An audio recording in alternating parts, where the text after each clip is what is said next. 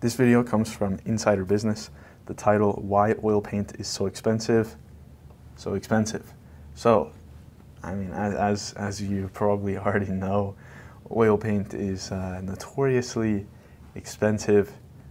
I wonder what they're going to add here. It's probably just about the process. It has to be milled many, many times to get a good consistency, and the actual raw materials are quite expensive themselves and require a lot of sort of uh, safety measures to enable them to be mixed properly. So we'll see if, if my hypothesis is correct, if any of these things are contributing to why it's so expensive.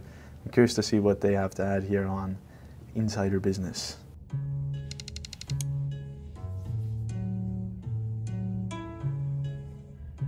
Oil paint is simple. At its most basic, it's just a mixture of oil and pigment. But depending on the colour and quality, a litre of this paint could cost you between 285 and $1,000. Oh, but but a liter. I mean, that's that's a lot. That's a lot of paint. There's, uh, yeah. I mean, buying anything more than a 200 milliliter tube, you're, you're yeah. That that kind of puts it puts it out of perspective in a way. But oil paint has been used for hundreds of years. It's made from a drying oil like flaxseed and pigment sometimes with fillers and thickeners added. When mixed and crushed, these ingredients bind and thicken to form a permanent paint. While the rise of oil paint is associated with the Renaissance, paintings using poppy seed oil have been dated as far back as 7th century Afghanistan. Hmm. But there's one key reason this paint hasn't ever been cheap. Pigments cost a lot of money. Yeah, pigments. Those are tough, especially uh, these days. So it doesn't matter if you have loads of pigment, if it's a bad quality pigment. You're looking for light fastness so it doesn't fade and tests on light fastness that have been going on for generations, in fact, for some pigments. So you're not going to create a masterpiece and then 50 years down the line, it's completely washed out. There's a lot of painters that have had this sort of experience where, you know, they made, they made these portraits and they weren't using very stable material. So after 100 years, 200 years, it started to fade and, and their portraits just ended up looking like ghosts. So it's kind of interesting that some of these raw materials are, are actually so, uh, yeah, finicky in a way. The favourite imperial colour in Roman times, Tyrian purple, was a bright pigment made from the glands of sea snails, and it could take 12,000 snails to make just 2 grams of the colour.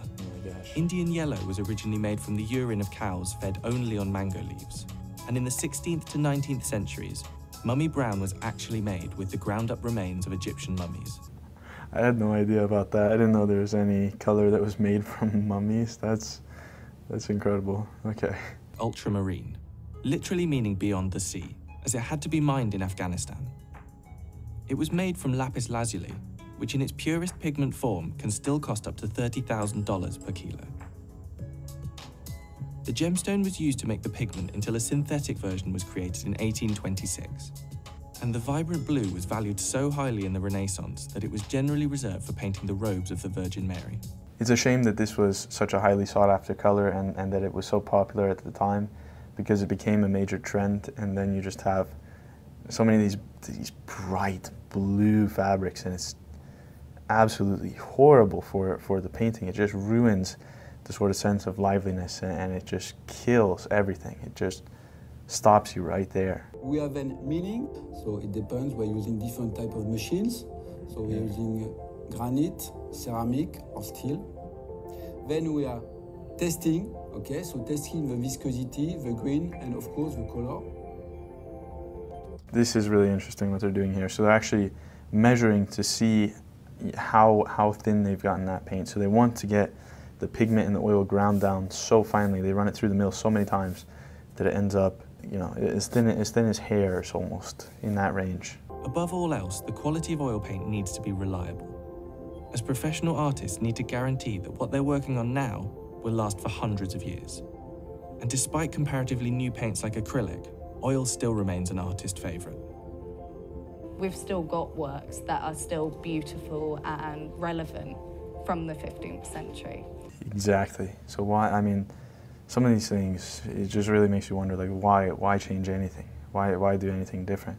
if you know it can last for that long, I don't know, you should be uh, hoping for much else. That's pretty substantial. Well, there you have it. I was hoping for some more detailed explanations, but I guess uh, the pigments are pretty expensive. They can be hard to find, and the actual process, the milling process, getting everything into uh, the right state and, and, and, really producing it is a very time intensive and, and difficult process. So that's why oil paint is so expensive.